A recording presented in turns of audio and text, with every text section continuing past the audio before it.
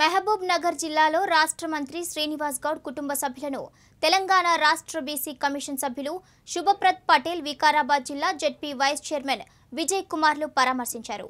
శ్రీనివాస్ గౌడ్ మాతృమూర్తి శాంతమ్మ మృతి పట్ల సంతాపం వ్యక్తం చేస్తూ ఆమె చిత్రపటం వద్ద నివాళులర్పించారు. వారి కుటుంబానికి ప్రగాఢ సానుభూతి తెలిపారు. వారితో పాటు బీసీ కమిషన్ సభ్యులు ఉపేంద్ర కిషోర్ గౌడ్ కూడా ఉన్నారు.